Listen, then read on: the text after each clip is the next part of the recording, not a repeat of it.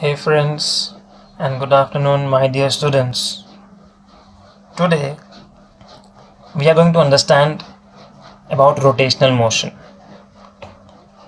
That is rotational motion depends upon what factors. So these are some important points which you need to remember to understand rotational motion.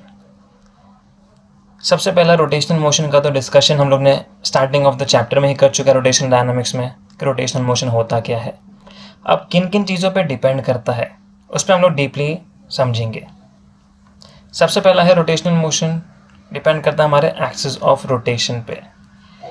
Y axis of rotation because अगर axis नहीं रहेगा तो ultimately वो motion अब rotational नहीं रहेगा circular रहेगा।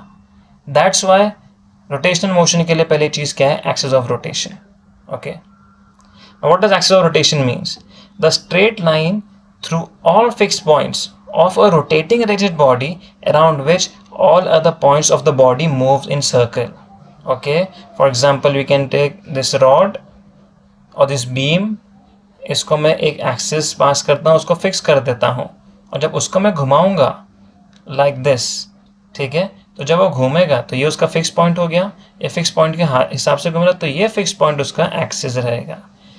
ठीक है? और अब आप देख सकते हो इसका जो सर्कल यहाँ पे सर्कल्स क्यों है? Because you can see the end this end end this end ये जो एंड है, ये पेन के, ये क्या कर रहे हैं अल्टीमेटली सर्कुलर पाथ कवर कर रहे हैं। Okay but only the ends but as a whole this is performing rotational motion second important thing है सेंटर ऑफ़ मास अब सेंटर ऑफ़ मास क्या होता है? सेंटर ऑफ़ मास टोटली हमारा selection of axis पे डिपेंड करेगा। अब जैसे मैंने इसका एग्ज़ाम्पल बताया था, मैं एग्ज़ाम्पल तो कोई भी सिलेक्ट कर सकता हूँ, ठीक है? Just to understand this let let me give an example और यहाँ हम जो बात कर रहे हैं not only about rotational motion rather purely rotational motion perform कब करेगी बॉडी या object let me give an example this is the pen pen का देखा जाए तो उसका जो एक्सेस रहेगा, यहाँ से पास करेंगे हम लोग। क्योंकि ये एक्सेस क्या होता है, जो उसका जो मास रहता है इक्वली डिस्ट्रीब्यूट करता है हर पॉइंट पे। मीन्स अगर पेन को मैं यहाँ से पकड़ के घुमा रहा हूँ तो ईजिली घूम रहा है। ठीक है? यू कैन सी कि ईजिली इसको रोटेट कर सकता हूँ। या तो ऐसे ऐसे। Easily I can rotate this but now if I catch the pen from one of its end और अगर एक्सिस को यहाँ से पास करता हूँ और फिर इसको रोटेट करूँगा so can you all see कि रोटेशन उतना प्योरली नहीं हो रहा है। मुझे थोड़े एफर्ट्स बढ़ाने पड़ रहे हैं अपने। वरना यहाँ पे क्या था? एफर्ट्स बढ़ाने नहीं पड़े थे फ्रीली और एकदम फास्ट मूव हो रहा था वो।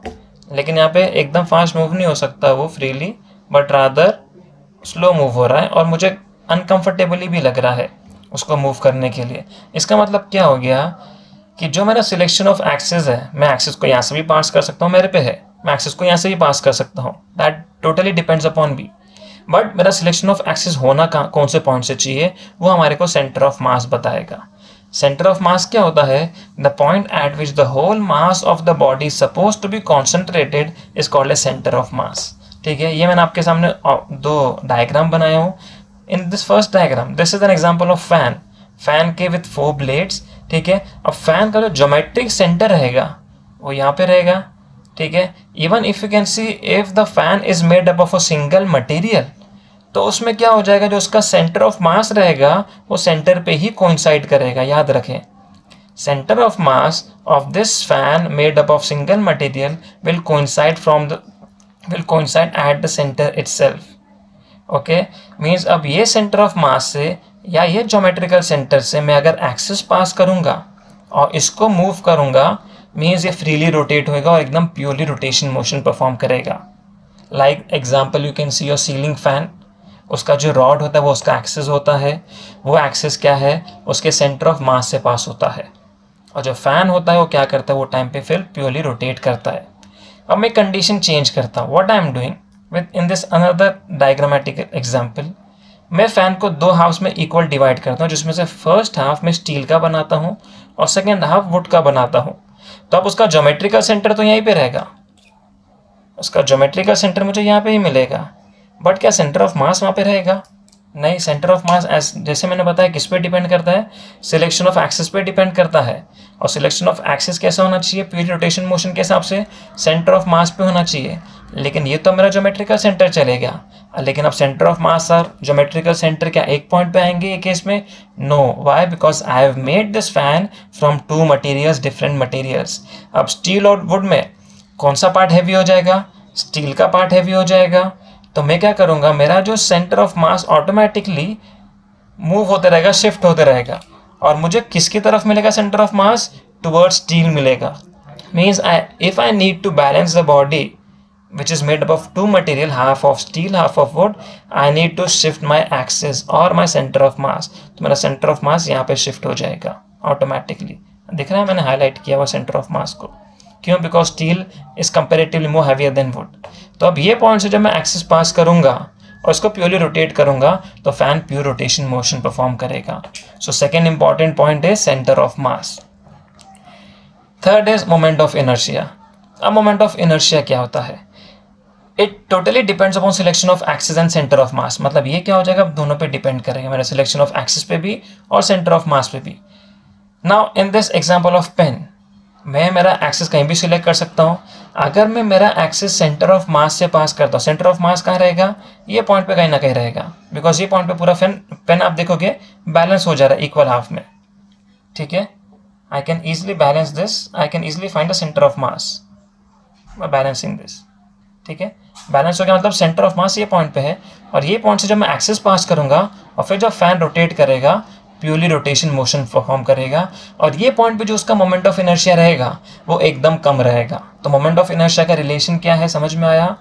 अगर मैं एक्सेस यहाँ से पास करता हूँ तो यहाँ पे पॉइंट पे देखता हूँ, क्या फ़ैन बैलेंस हो सकता है क्या मैं if I release my thumb will this pen will get balance no easily fall हो गया।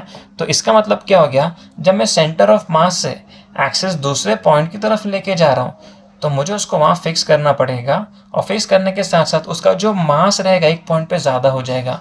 बिकॉज़ यू कैन सी ये पॉइंट पे अब मास बहुत ही कम है, बहुत ही कम निग्लिजिबल और पूरा डिस्ट्रीब्यूशन ऑफ़ मास यहाँ पे ज़्यादा हो गया। तो जहाँ डिस्ट्रीब्यूशन ऑफ़ मास ज़्यादा हो गया एक्सेस कहाँ पे था सेंटर ऑफ़ मास ये पॉइंट पे तो सेंटर ऑफ़ मास से डिस्टेंस क्या हो गया? इंक्रीज हो गया। तो जहाँ सेंटर ऑफ़ मास से डिस्टेंस इंक्रीज होएगा, मेरा मोमेंट ऑफ़ इनर्शिया भी बढ़ते रहेगा। याद रखें, जितना सेंटर ऑफ़ मास पे मेरा एक्सेस है, उतना मेरा मोमेंट ऑफ़ इनर्शिया कम रहेगा। मतलब अगर सेंटर ऑफ़ मास पे एक्सेस पास करूँगा तो मोमेंट ऑफ़ इनर्शिया निग्लेजिबल रहेगा। बहुत ही कम रहेगा। नहीं के बराबर। लेकिन जहाँ मैं एक्सेस अब सेंटर ऑफ़ मास तो यही पॉइंट पे है। लेकिन एक्सेस को मैं शिफ्ट करके ये पॉइंट पे लेके आ गया तो मतलब मैंने मोमेंट ऑफ़ इनर्शिया इंक्रीज कर दिया। और जहाँ मोमेंट ऑफ़ इनर्शिया इंक्रीज करूँगा तो अब फ़ैन उतना प्योरली रोटेट नहीं होएगा, मुझे एफर्ट्स लगाने पड़ेंगे।